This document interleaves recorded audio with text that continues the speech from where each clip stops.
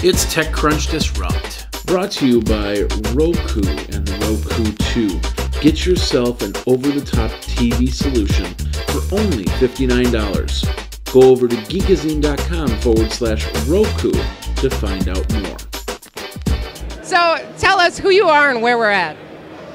Hi, my name's Eoin. I'm from a company called Picture.ly. We're providing tools to create and curate public social albums. We are near seed stage funding. What we did at the recent hackathon was we built a Wait, photo. That's not how we're doing it. what do you want? I mean, where we're at, what? Okay. Context.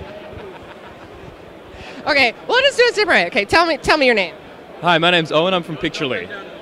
Oh yeah, don't bend down. So, so tell me tell me your name. Hi, my name's Eoin. I'm from Picture.ly. And where are we at right now? Uh, we're at seed stage. We're looking for seed stage funding.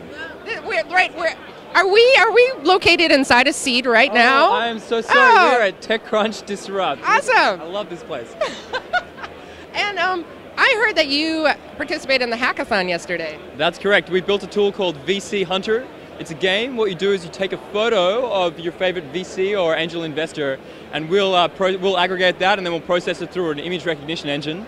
And whoever gets the largest portfolio wins. So essentially, the bigger the investor, the more points they're worth. And we'll be doing that based off the Crunchbase API, however large their portfolio value is. That's really awesome because it also has the gaming part in there, and people could get badges. I mean, look at Badgeville; they did quite good last year. Well, tell us about Picture.ly. So that got started this year.